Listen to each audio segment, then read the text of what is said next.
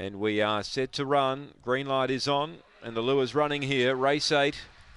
Favourite just Big Rough.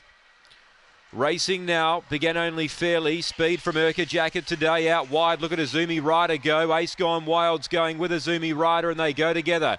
Azumi Rider stays wide, gets a length on Ace Gone Wild. As Serendipity Gold ran on from Urca Jacket and Rusty Sprocket. Red is a long way back now. Big Rough is second last, and Good Yarn is last. Azumi Rider does it well, led by four. Trying hard, Ace Gone Wild. Serendipity Gold, still Azumi Rider, just close to home. Azumi Rider.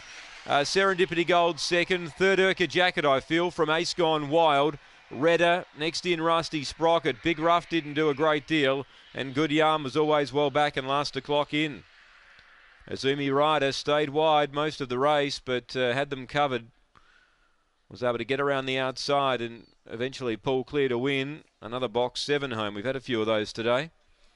Leanne Bartholomew, number seven, Azumi Rider. Three Serendipity Gold second and one Urca Jacket runs third. She showed more speed today than what she has recently, but there are a couple out wide that showed more speed than her.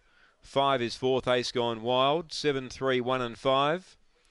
And uh, Azumi Rider, as I said, she'd been looming up to winning a race of late. And today, everything fell into plan when she got a nice clear run around the outside. 4.43 early. And the run home in 17 seconds. Seven the winner. No, the run home in 13.07, I should say. Uh, 7315, 30.07 the run. So that's a new PB for her. And uh, we just await the all clear 7, 3, 1 and 5. Azumi Rider from Serendipity Gold doing its best work late. Urca Jacket, a better run today. And Ace Gone Wild, not a bad performance either. Uh, big rough, yeah, average away and just battled really the favourite. Didn't do a great deal. 30.07 the run. Race 8, race 9's over the uh, 400. Uh, it's up next. Uh, scratching here is 3 Avatar Blood.